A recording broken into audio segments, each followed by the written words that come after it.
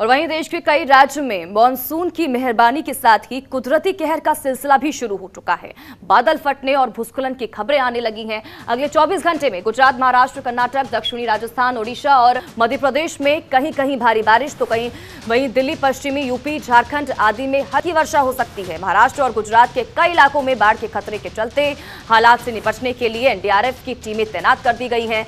मौसम विभाग ने महाराष्ट्र के रायगढ़, रत्नागिरी और सिंधुदुर्ग में 9 जुलाई तक भारी वर्षा की संभावना प्रकट करते हुए रेड अलर्ट जारी कर दिया है। तो वहीं पालघर, पुणे, कोल्हापुर और सतारा जिलों में 8 जुलाई तक के लिए रेड अलर्ट जारी किया गया है।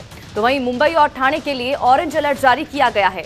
इसी के साथ ही कोंकण, गोवा और दक्षिण मध्य महाराष्ट्र में भारी वर्षा और बाढ़ का खतरा है, ये भी कहा गया और इसीलिए वहाँ पर रेड अलर्ट जारी कर दिया गया है।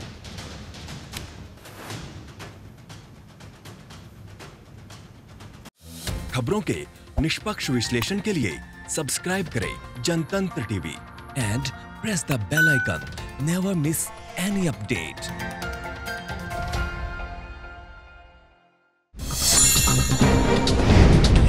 download कीजिए जनतंत्र टीवी ऐप को, जो कि अवेलेबल है गूगल प्ले और ऐप स्टोर पर। अधिक जानकारी के लिए अभी डाउनलोड करें।